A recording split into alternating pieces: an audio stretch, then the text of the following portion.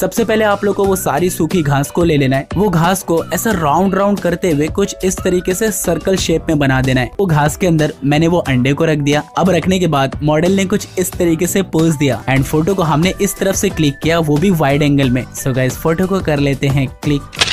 super यार photo बहुत ही cool and बहुत ही क्रिएटिव लग रही है